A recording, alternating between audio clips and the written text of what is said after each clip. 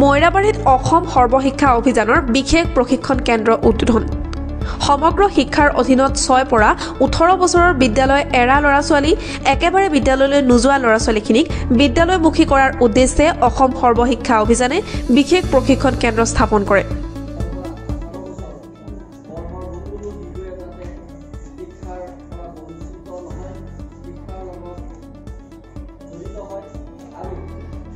শিক্ষাৰ জৰিয়তে সকলোৰে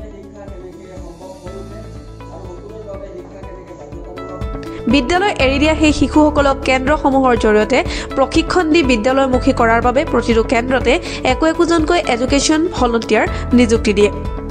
আজি মৰিগাঁও জিলাৰ লাহৰীঘাট শিক্ষাখণ্ডৰ মুঠ ষোল্লটা প্ৰশিক্ষণ কেন্দ্ৰৰ মৈৰাবাৰী বালক প্ৰাথমিক বিদ্যালয়ৰ প্ৰশিক্ষণ কেন্দ্ৰটো অসম সৰ্বশিক্ষা অভিযান মিছনৰ মৰিগাঁও জিলাৰ জিলা মানৰক্ষক জয়দুৰ ৰহমানৰ তত্বাৱধানত লাহৰীঘাট শিক্ষাখণ্ডৰ খণ্ড মিছন সমন্বয়ক আবুল কাছেমে আনুষ্ঠানিকভাৱে মুকলি কৰে। আজিৰ এই মুকলি অনুষ্ঠানত বিদ্যালয়খনৰ শিক্ষক শিক্ষয়িত্ৰীসকল উপস্থিত থকাৰ উপৰিও বিদ্যালয় পৰিচালনা সমিতিৰ সভাপতি অভিভাৱকসকলৰ লগতে আমন্ত্ৰিত অতিথি হিচাপে উপস্থিত থাকে তাঁতিকটা গাঁও পঞ্চায়তৰ সভানেত্ৰী সঞ্জিতা বেগম।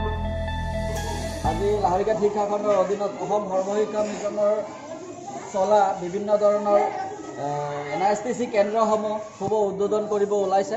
তাৰ ভিতৰত মৈৰাবাৰী বালক প্ৰাথমিক বিদ্যালয় কেন্দ্ৰ যিসকল ছাত্ৰ নেকি ছয়ৰ পৰা চৈধ্য বছৰ বয়সত স্কুলত থাকিব লাগিছিল আজি তেওঁলোকে বিভিন্ন ধৰণৰ হোটেল ৰেষ্টুৰেণ্টৰ পৰা আদি কৰি বিভিন্ন অটো টেম্পুত আজি তেওঁলোকে ভাড়া উঠাই তেনেধৰণৰ কামত লিপ্ত হয়। যাতে সেইটো কাম কেতিয়াও হৈ উঠিব নোৱাৰে। তাৰ বাবে আমাৰ জৰীপ কাৰ্যসূচীৰ মাধ্যমত যিসকল আমি শিশু বিভিন্ন কামত জড়িত পাইছোঁ বা বিদ্যালয়ৰ পৰা একেবাৰে বিদ্যালয়ত নহা হৈছে বা বিদ্যালয় এৰি দিছে তেনে ছাত্ৰসকলক ধৰি আনি আমি কেনেকৈ তেওঁলোকক আমি মূলভূতিকৰণ কৰিব পাৰোঁ বা শিক্ষাৰ যি এক পোহৰ বিলাব পাৰোঁ তাৰ বাবে এইখন কাৰ্যসূচীৰ জৰিয়তে এনেধৰণৰ বিশেষ প্ৰশিক্ষণ কেন্দ্ৰৰ জৰিয়তে আমি এই সমূহ শিশুক বিভিন্ন ধৰণৰ শ্ৰেণী অন্তৰ্ভুক্ত কৰি পেলাই তেওঁলোকৰ পাঠদান ব্যৱস্থা আমি দিবলৈ এইখন কেন্দ্ৰ আজি- চাওক অষ্টম মানলৈকে চলে চৈধ্য বছৰ বয়সলৈকে কিন্তু সমগ্ৰ শিক্ষা অভিযান মিছনে কিন্তু দ্বাদশ শ্ৰেণীলৈকে এতিয়াৰ পৰা হেৰি কৰিব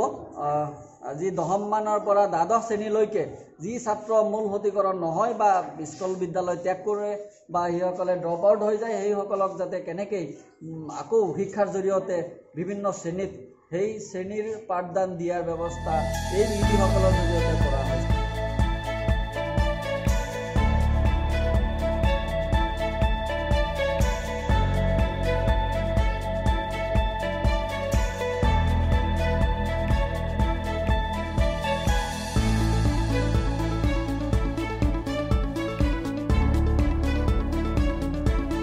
লাহৰীঘাটৰ পৰা মেহবুব আনোৱাৰৰ ৰিপৰ্ট অসম টুডে।